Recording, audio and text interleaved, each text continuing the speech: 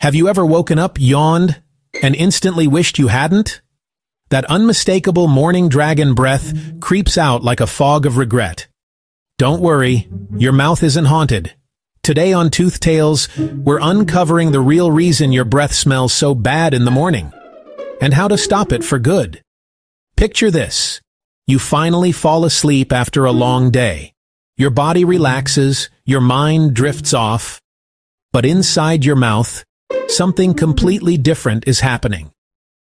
Your saliva, that hard-working cleaning crew, clocks out for the night. And when saliva goes to sleep, bacteria clock in.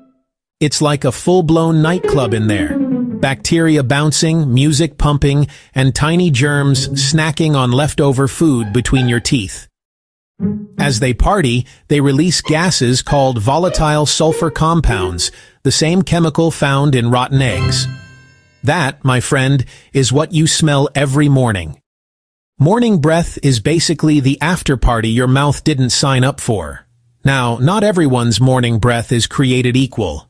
If you snore or breathe through your mouth while sleeping, your mouth becomes as dry as the Sahara Desert. And bacteria? They love a dry mouth. It's their favorite playground. Then there's the late night snacks. Garlic bread, pizza, onions.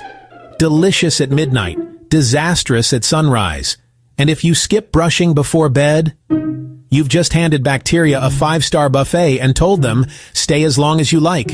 Certain habits, like smoking or drinking alcohol, also dry your mouth, making morning breath even worse. So how do you stop this nightly bacteria party? Step 1. Brush and floss before bed. No leftovers, no feast. Make your mouth spotless before lights out. Step 2.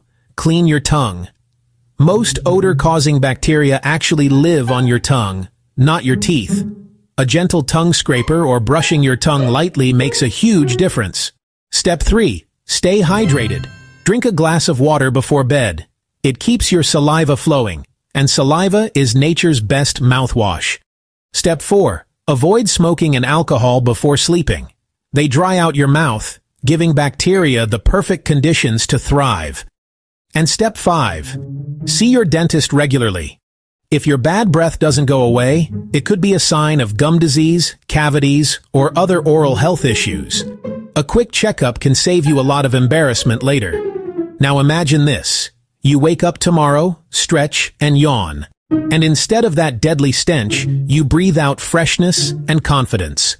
No bacteria party, no sulfur smell, just a clean, minty morning. Because the truth is, morning